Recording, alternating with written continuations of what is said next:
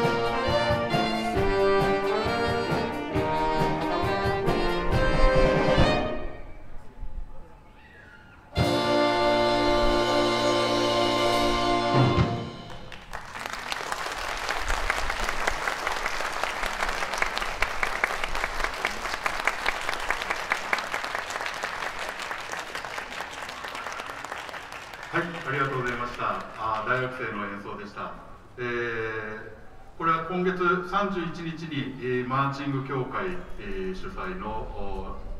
マーチング東海大会というものがあります。えー、そこで披露させていただく演目の演奏だけですが、あ披露させていただきました。えー、31日はライブ配信がありますので、ぜひそちらをご覧いただければなと思っております。3000円です。えー、2000円だったかな ?3000 円だったかな？ライブ配信で、えー、どんなマーチングなのかというのをご確認いただければなというふうに思っています。えー、本日私たちに、えー、与えられた時間は30分のプログラムです。えー、今18分が経過をしました。あと12分あります。12分も、え用意しておりませんので、え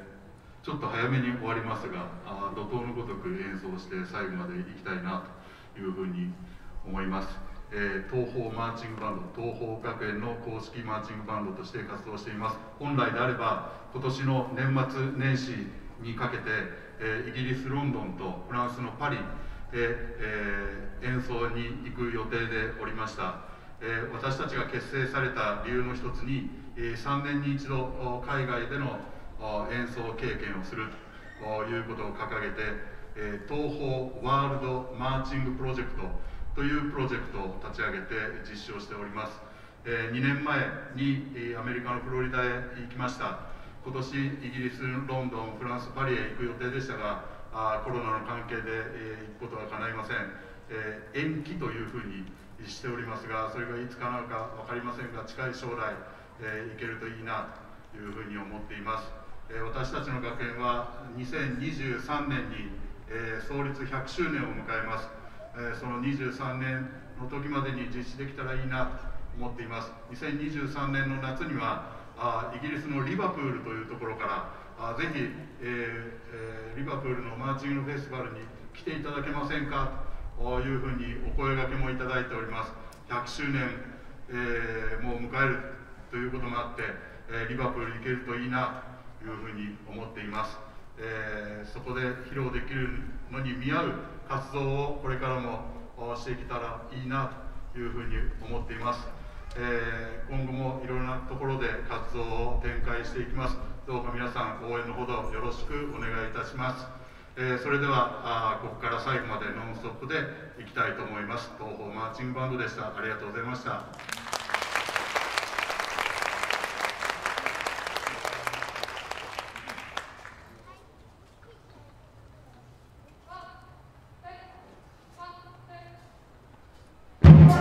I'm going to go to the next one. I'm going to go to the next one. I'm going to go to the next one.